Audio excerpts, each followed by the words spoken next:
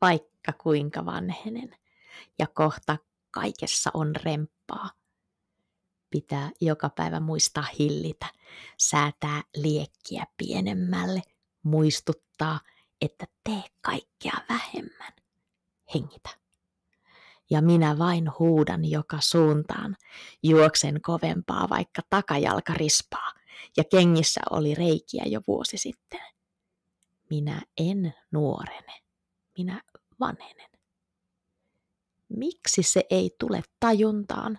Miksi nämä solut eivät opi?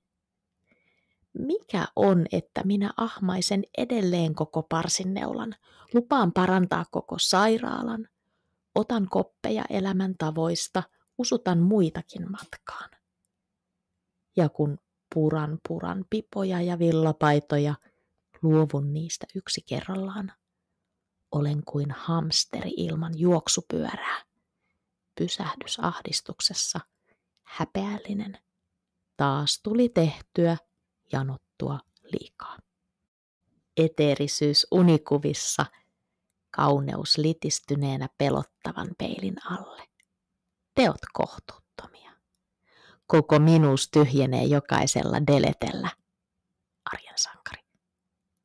Vielä jää kuitenkin mekaniikka, joka kiehuu, polttaa, pakkautuu, pyörittää tyhjää. Myyn kesän, aistiharhan ja matkailuauton, liput sirkuksiin, reikäiset kengät, lukukirjan kauppalistan kaikki lukuisat kotini. Kuka ostaa?